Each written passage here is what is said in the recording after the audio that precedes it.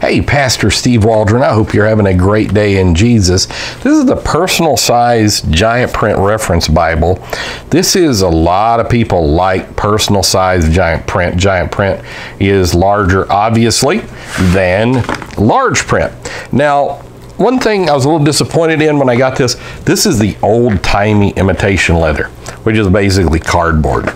And it's really bad. For a lot of reasons. It's the biggest thing is just doesn't last nearly as much as these imitation leathers that are petroleum based that they're doing. Now it does have absolutely gorgeous headbands and tailbands and it has a ribbon marker. Let's open up this ribbon marker here. Pull it out. Just a nice size ribbon marker. Nelson's really been doing a good job. Now this particular ribbon marker, I would cut that off because it's it's this is done on the cheaper end. Now I don't remember how much I paid for this. Uh, see, it retails for $19.99 well, how much is a Bible worth? It gets you to heaven. It's, it's going to be worth a lot. But like Family Dollar, I think they have some Bibles of, from Nelson. They're maybe superior. Here's what the this uh, page looks like: the introduction page, you know, the gift giving page, and it. Uh, it's more like a gift and award Bible, just in large print. Now the print the, the size of the Bible is phenomenal. Like my Cambridge giant print, uh, excuse me, large print text only is larger, pretty good bit larger than this. And the print in this guy is, is very good. Now, it doesn't have much in the way of margins. Some, it has probably 0.375 inches in the gutter uh, maybe a half inch at the top, maybe 3.75 to a half inch at the, uh, sides and bottom.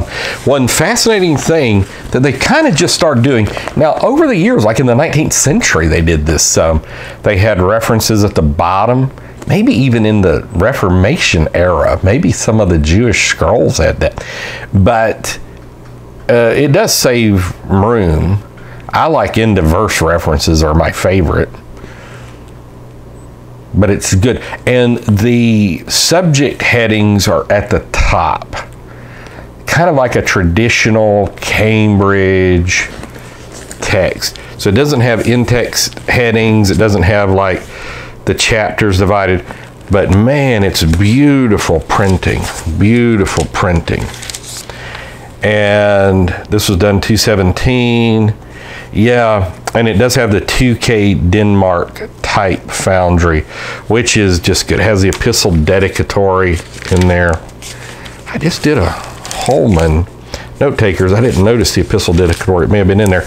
It does have small introductions at the front as well. And that's something unique for a Bible like this. But you can tell by the, like the ribbon marker that it's not good. I'll just show you like Malachi with the introductions. I appreciate Sister Waldron zooming in and out.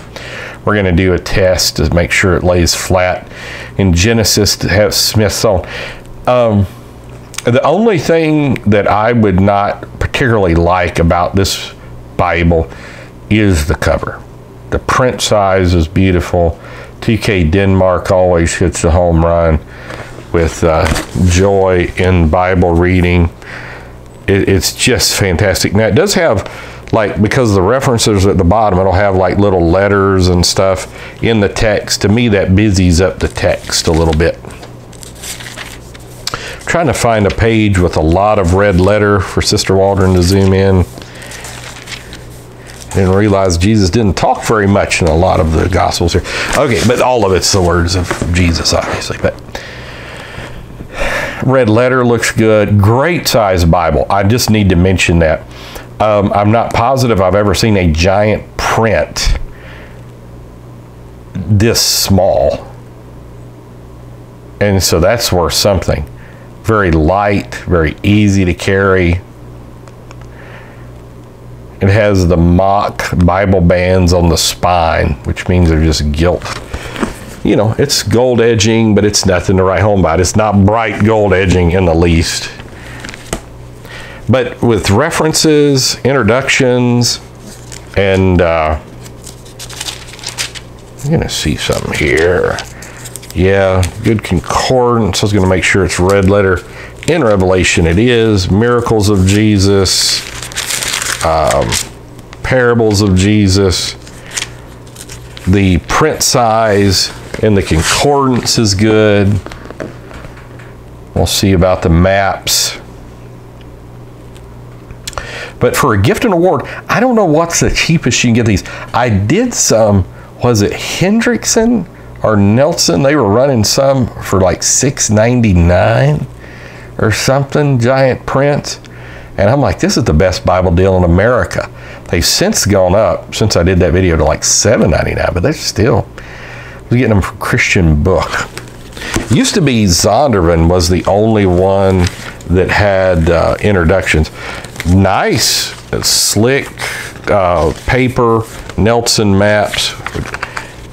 Not really any page to write on or anything like that has a little history of their type.